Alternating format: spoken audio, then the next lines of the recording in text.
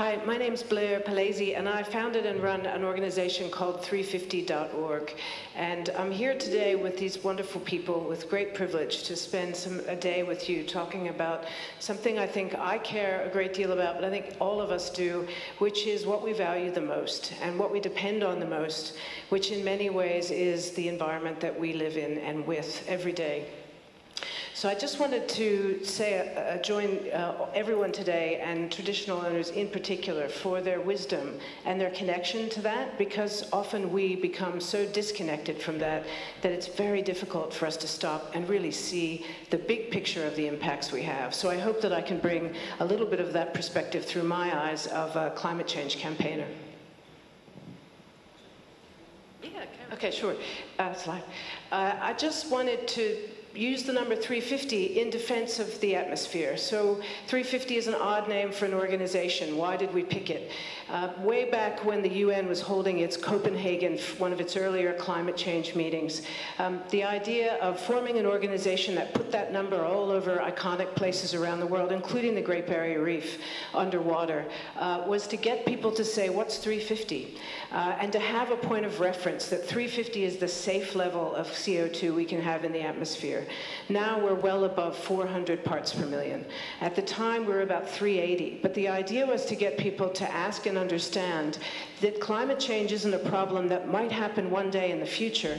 Climate change is something we're already living with, and we were living with back in 2009 before that Copenhagen meeting. So that's why the number 350 and why the name of the organization. And I think the bigger question for us is who cares? Why should we care about climate? Why should we care about this big issue that we often feel we don't have any way to have a control or an impact on or a positive way to find a solution? So the first question is the atmosphere. We don't think about it a lot. We breathe every day. We live in the atmosphere it's a very delicate thing. It's a, it's a, it, while it covers a great deal of space, it's that 16 kilometers between us and when it starts to kind of meld into space that we're all dependent on every day.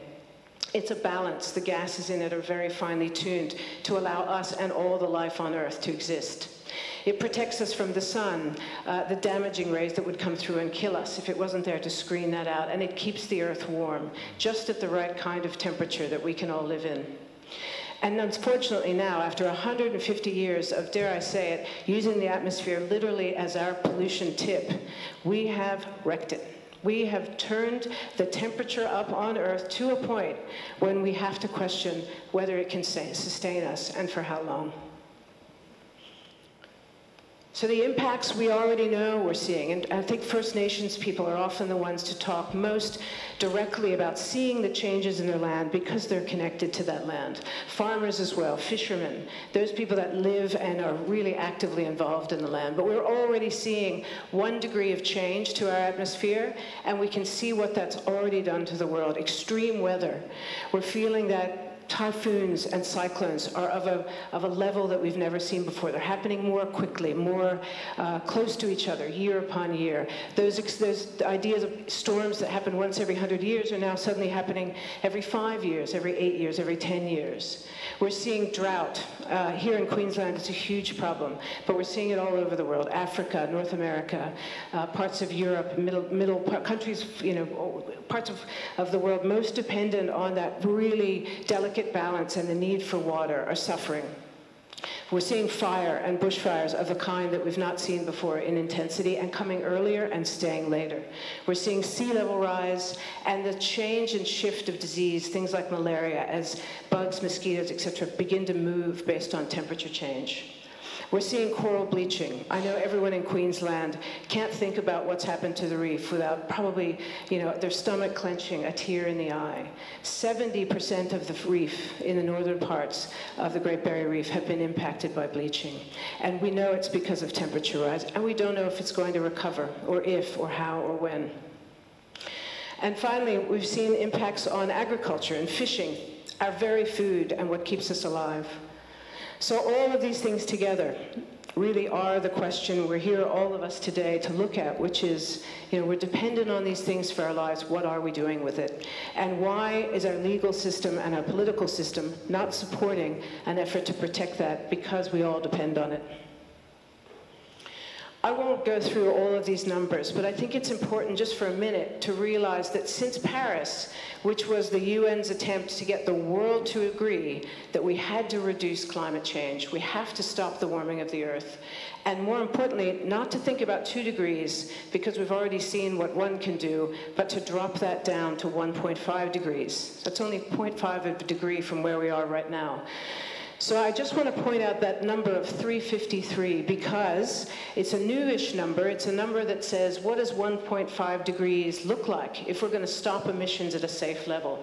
And in particular, a report that came out just a couple weeks ago said the first thing is we simply can't build any more coal mines, we can't produce any new oil exploration, and we can't be you know, dropping more gas mines anywhere in the world. But here in Australia, we are still acting as if it's business as usual, and from an economic point of view, off we go. So I just finished this slide to say we have only one choice to make if we want a livable planet, and that's to stop what we're doing, to wind back what we already have, and to refresh our atmosphere and come to a place where we can find that stable number and that stable place.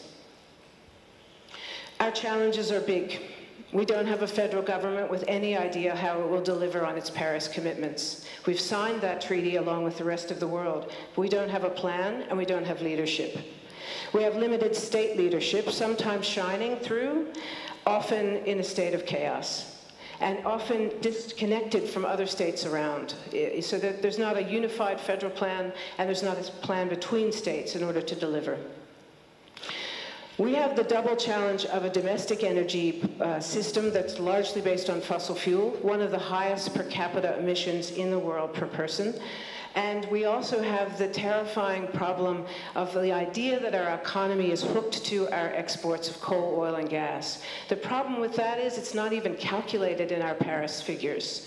So we think we can just keep pumping out coal, oil, and gas, shipping it out, making money, uh, not realizing that the impact that we're having is on our very own atmosphere as well as that of the rest of the world.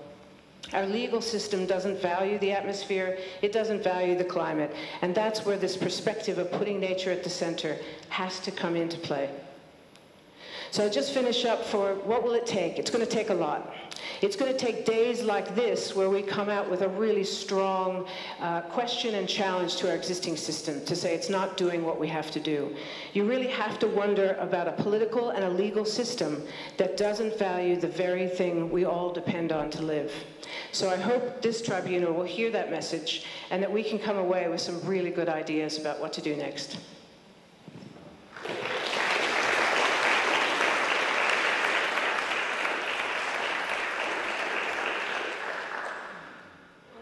Question, and just to reiterate uh, and to ensure that everyone, and perhaps folks who've come a little later, to understand the, the possibilities and expectations around this people space, we won't be able to take away the comments and the great ideas and do anything on our own. What we're interested in is creating this space so that everyone can talk together, find this extra space and a new voice to add to the many voices to keep pushing. So I'll actually put the question back to you, Blair, because I know 350.org has been absolutely instrumental in things like the divestment campaign and other activism.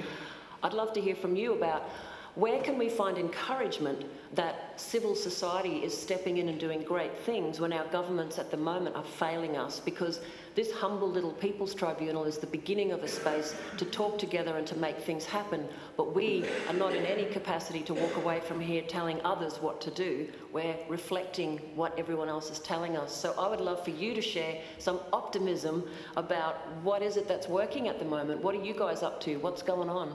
Yeah, I think the building of that movement and that all of us in the room have every responsibility to carry forward that political and that activism pressure that's going to be needed here in Australia to bring about a change.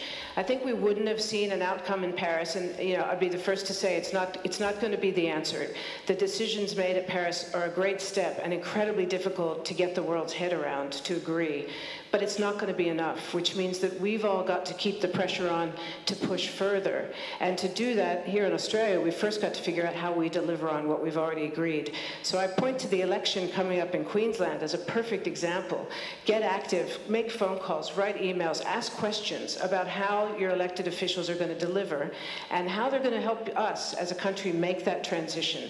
Because it will happen, and it is already happening around the world, and here in Australia we're pretending it's not. So using your activism as a divestment tool, taking your money out of fossil fuels, putting it into alternatives that are better for the planet, getting active in an election, getting active in your community, making sure people around you are educated.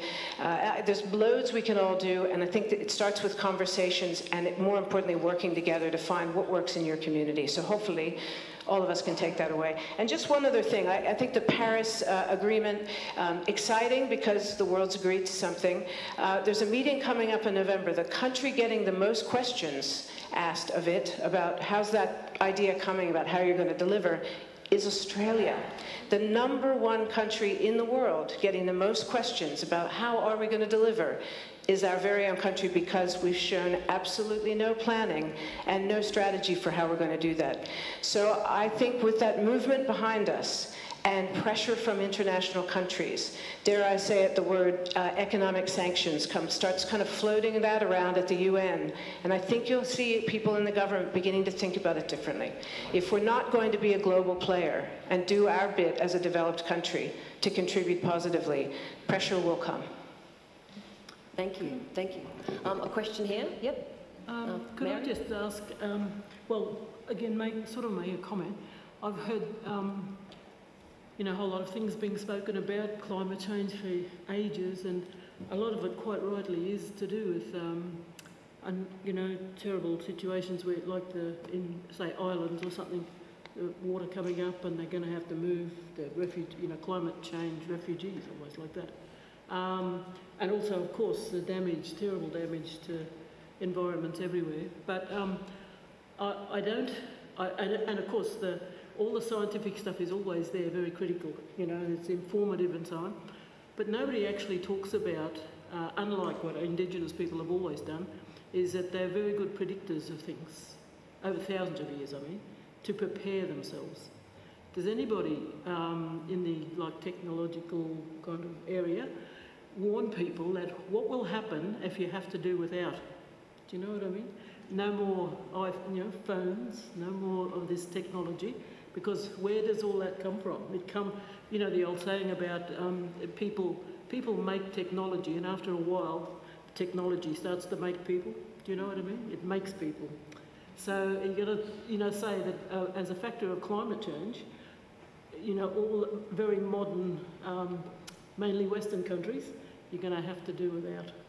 I think Basically, we'll have to do without altogether, but balance is going to be critical. You know, and knowing the limits of our systems and learning to live within that is absolutely, you know, it's got to happen here, it's got to happen everywhere in the world. Literally, not just sort of saying it, like uh, spelling it out exactly how it is. You, you won't be able to go and uh, buy anything you want, you know, because certain, uh, I don't know what that element is, but you, it needs to be in phones, I think. Uh, I, I forget what it is, but certain elements, minerals, I mean, uh, are required, but nobody ever talks about those things.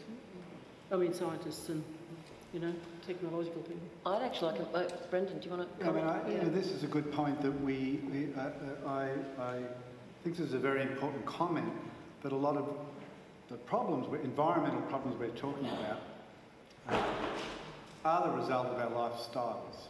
And, and, and it, it, you're, what you're asking us is to what extent changing our lifestyles, or some of us changing our lifestyles, you know, has to be part of the solution. And I think a good example of that is international aviation right? Um, it, it- it's called a bunker because its aviation emissions uh, are not accounted for by any country. Right? No one's responsible for them. Uh, and, and there's no way to offset them once you burn fossil fuel in the atmosphere. It's, it's affecting the system for thousands of years. So what's the future for international aviation?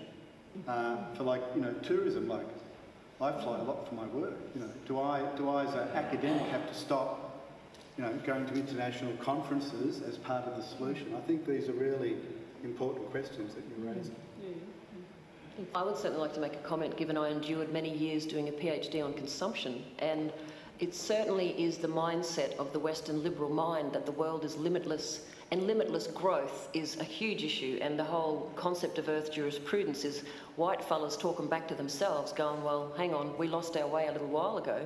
And now we have to think about how do we reconnect with Earth, but more importantly, how do we tell ourselves that we can't be spoilt kids anymore, burning everything up. We actually have to listen to Earth, understand, set limits on ourselves.